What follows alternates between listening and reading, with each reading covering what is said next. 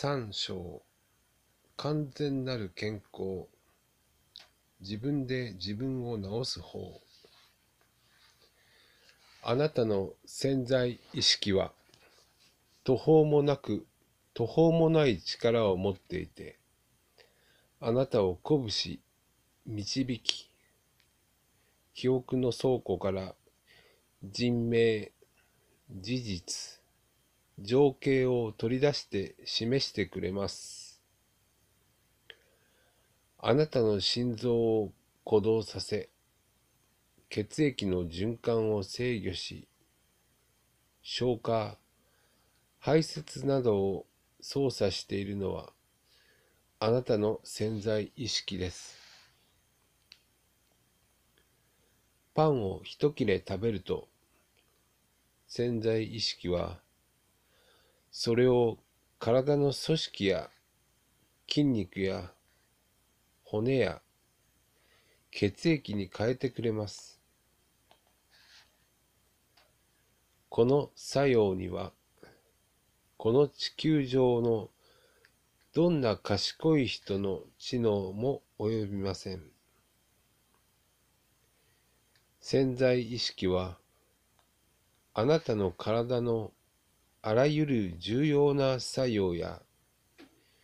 機能を制御し、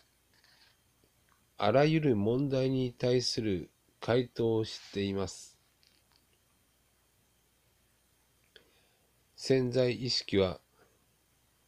眠ることも休むこともありません。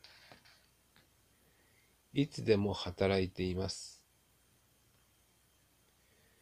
何か具体的なことを達成するようにと就寝前に潜在意識にはっきりと言ってごらんなさい。そうすればあなたの潜在意識の奇跡を起こす力がどれほどのものかわかるでしょう。あなたは自分の内なる力が解き放され、望んだ結果が得られることを発見して喜ぶことでしょう。ですから、潜在意識にこそ全能者、すなわち世界を動かし、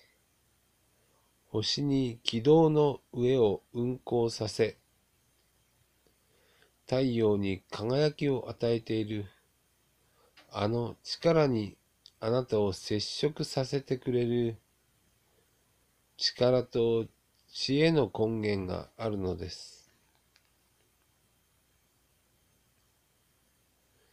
麻酔もかけずに大手術を次々と成功させた。外科医の腕。潜在意識こそがあなたの理想野心利他心などの根源です。シェイクスピアが彼の同時代の普通の人には見えなかった。偉大な真理を見ることができたのも潜在意識によってでした。ギリシャ人の彫刻家フェイディアスに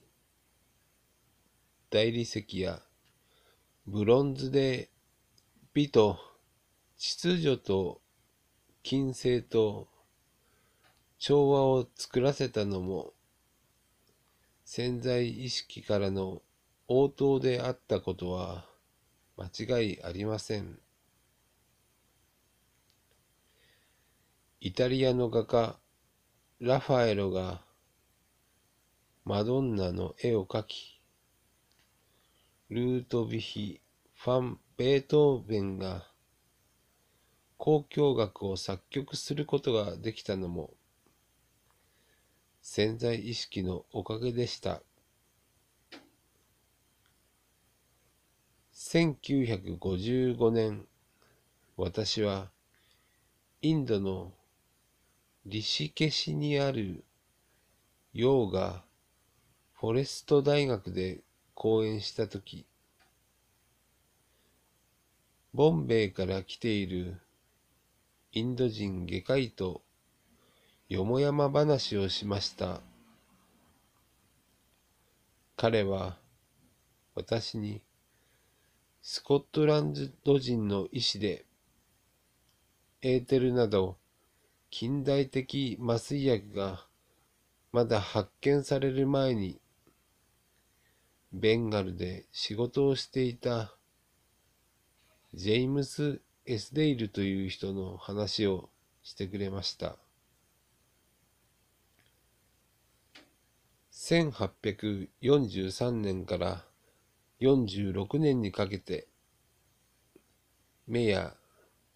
耳鼻咽喉の手術の他にも四肢切断腫瘍やがんの摘出手術など約400の大手術を行いました。すべての手術は精神的麻酔だけで行われました。エスデイル医師の手術を受けた患者の術後死亡率は非常に低く、おそらく2、3%だったといいます。患者は痛みを感じず、また、手術中に死んだ人は一人もありませんでした。エスデイル医師は自分のどの患者も催眠状態にしてその潜在意識に感染や可能は決して起こらないという暗示を与えました。これがルイ・パスツールやジョセフ・リスターらがバクテリアによる病気や感染の原因が殺菌しない器具やばい菌によるものであると指摘する以前のことだったことを忘れないでください。インド人外科医はこのように死亡率が低く、感染が最小限に抑えられたのは疑いもなく、エスゼイル医師が患者の潜在意識に与えた暗示のおかげだと言っていました。患者は彼の暗示の性質に応じて反応したのです。今から150年以上も前に、一外科医がどうして潜在意識の奇跡を起こす力を発見できたできたのかと考えると、全く不思議というよりほかありません。自分の潜在意識の超自然的な力についてちょっとでも考えてみたら、あなたは一種の